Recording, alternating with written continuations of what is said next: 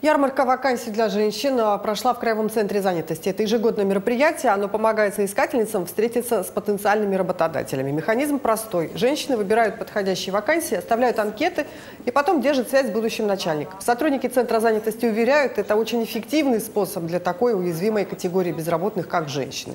В один день можно пройти собеседование, профориентацию, тестирование и проконсультироваться у психологов. По опыту прошлых лет на работу устраивается половина из пришедших.